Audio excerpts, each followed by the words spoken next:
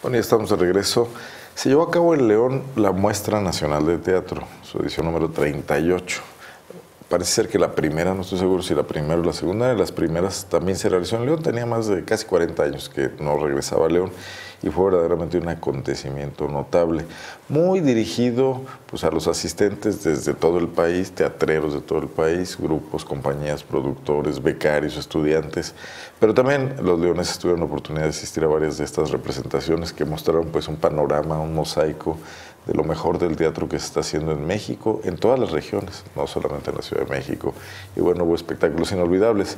Alejandro Gasca nos hizo el enorme servicio y favor de cubrir el evento para eh, Zona Franca y quiero pues platicar con él para que nos haga en un apretadísimo resumen, pues una reseña de todo lo que vio en esta muestra nacional de teatro con sus momentos más, más destacados, más espectaculares. Alejandro, ¿cómo estás? Hola Arnoldo, feliz, muchas gracias por el espacio. Bueno, pues eh, no sabías a qué ibas y terminaste eh, sorprendido, deslumbrado y muy eh, contento con lo que viste, ¿no?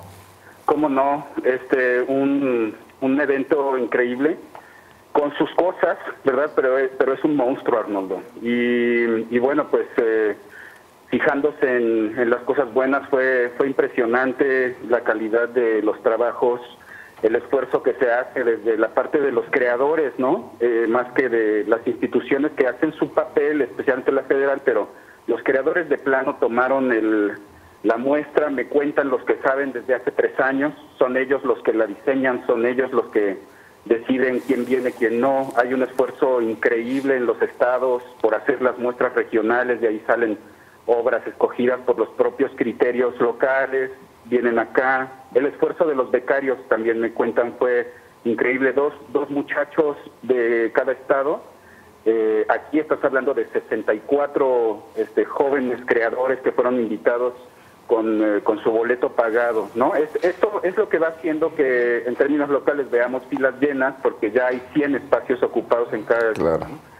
Pero bueno, no, yo impresionado, no soy ningún experto en, en teatro y, y, y salí estoy verdaderamente eh, emocionado y especialmente con, con el cierre, ¿no? El cierre. Bueno, estabas emocionado con la inauguración, con el discurso de Sara Pinedo y también con el cierre. En este arco de la apertura, a la, platícame los momentos que, disfrutaste más, lo, lo, que ves como tendencia, cómo impactó esto en León, la, la ausencia de las autoridades, que también fue notable, ¿no?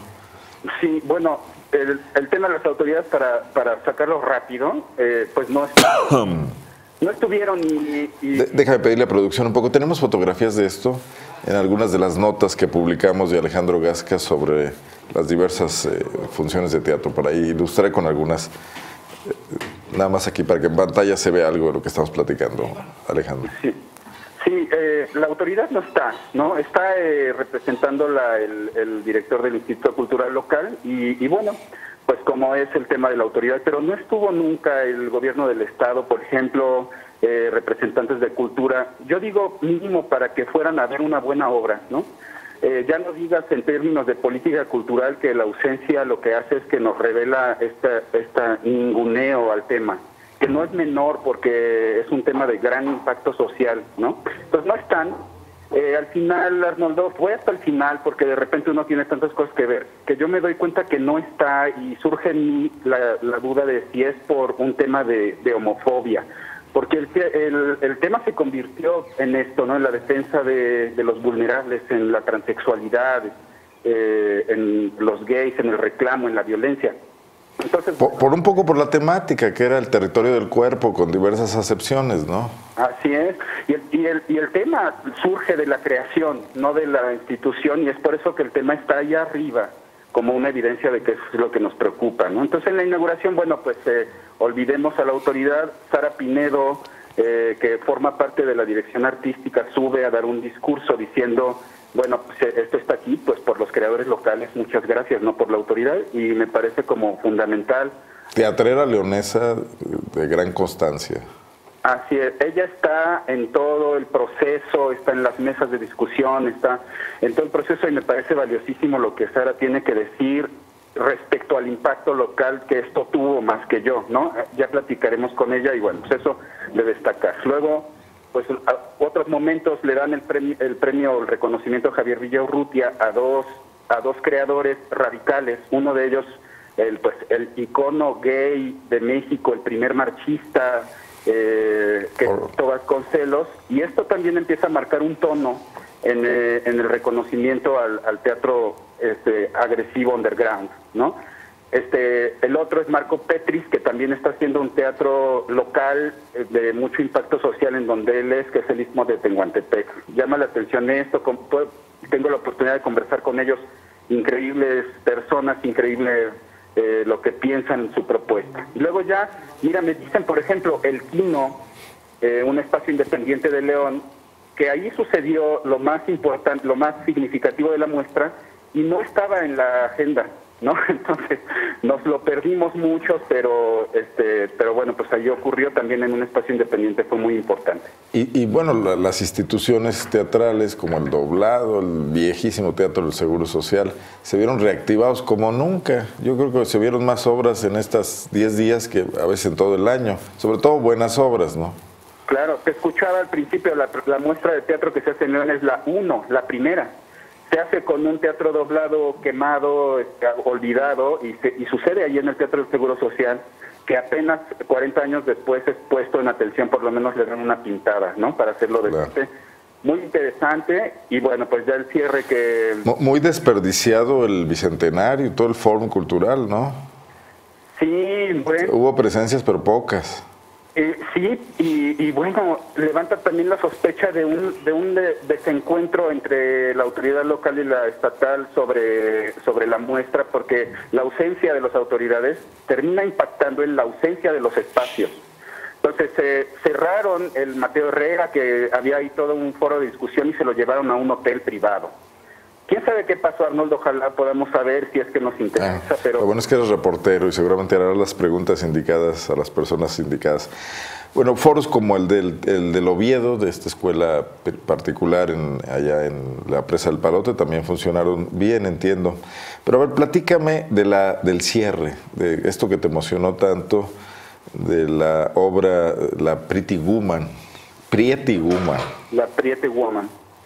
Sí, bueno, eh, no, no se habían dado cuenta ellos del, del, asunto, ellos están viendo su arte, ¿no? Entonces yo pude platicar con el productor previo a la puesta y emocionadísimo por cerrar la muestra, porque esta propuesta de cabaret del teatro este, ninguneado durante tantos años cierra el evento más importante. Fijados en eso, una producción me decían, pon atención a esto porque esto es cabaret ya evolucionado. Y entonces estaban emocionados con eso. Sí, un poco lo sabían que iban a impactar por las cierres, que había autoridades.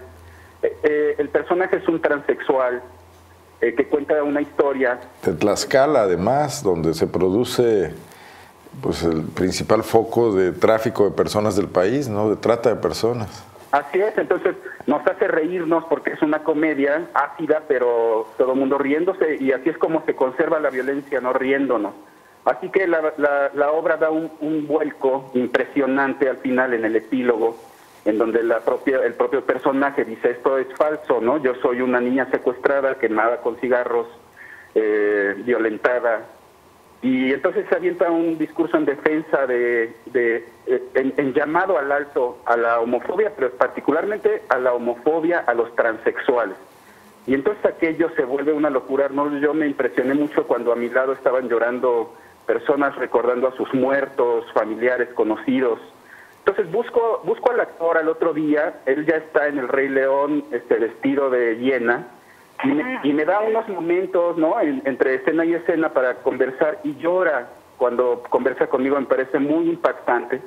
Y entonces, bueno, pues yo intento retratar esto en el texto que, que publica Zona Franca, que me hace el favor de publicar Newsweek también, y bueno, pues eh, increíble, la visión que, que, yo me quedo es esta, ¿no? Qué bueno que tomó una de las eh, comunidades más, más dañadas en nuestro país, más violentadas, la escena del espacio más importante. Entonces esto trascendió al teatro, Arnaldo, no sé si estás de acuerdo, trascendió al teatro, trascendió al arte, y entonces nos regaló también una buena cachetada este, a todos para poner atención. Busco cifras. Pues como debe ser el buen teatro, ¿no? Exacto. Sin panfletar, sin panfletos, pero hacerte ver aspectos de la realidad que pasas por alto normalmente.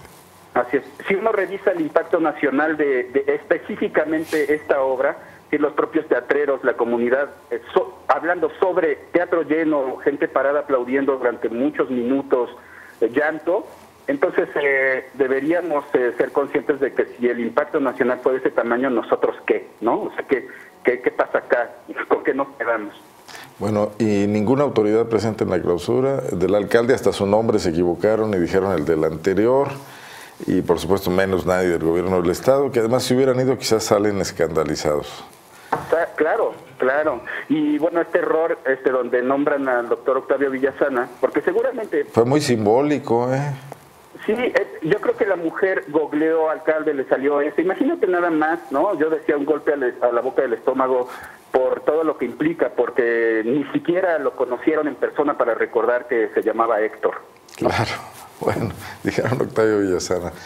Alejandro, muchísimas gracias. Las crónicas que escribiste se pueden leer en la página, todas, la última espléndida de esta obra, Prieti Guman, pero las demás también desde la inauguración. Bueno, pues seguimos en contacto, ¿te parece? Sí, si tú me permites, vamos a seguir escribiendo sobre la... No, pues yo te agradezco que esa... esa un gran orgullo llevar estos textos, de veras. ¿eh? gracias, Arnoldo. Gracias por el espacio. Buenas, buenas tardes. Buenas tardes.